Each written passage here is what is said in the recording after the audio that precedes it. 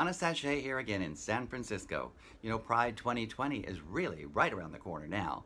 And last time I promised you that I would give you 10 great ways to celebrate Pride, and I'm going to continue that list tonight.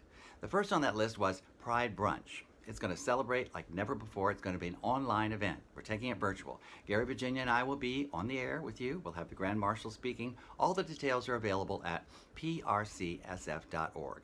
It will be a benefit for PRC, and it will be honoring the Grand Marshals and awardees from the Pride Parade.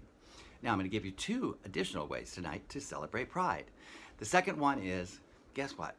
Up and down Market Street in San Francisco, I don't know if it happens anywhere else in the country, the gay pride flags appear. That's right, on all the lampposts, that wonderful rainbow flag created by Gilbert Baker years ago appear up and down Market Street, really the full length of the parade route.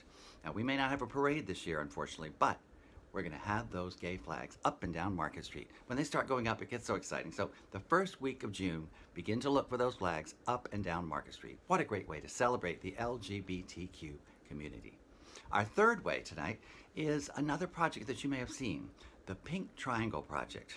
On the top of Twin Peaks, which is one of the highest points in San Francisco, you may see every year, the end of June, a pink triangle begin to appear.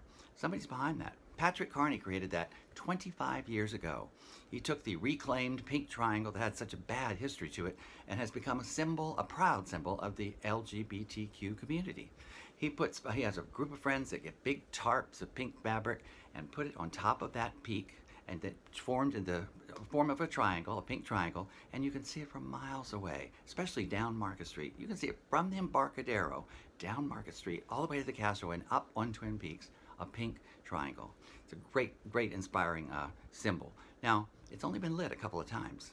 This year, it will be lit if you help us out.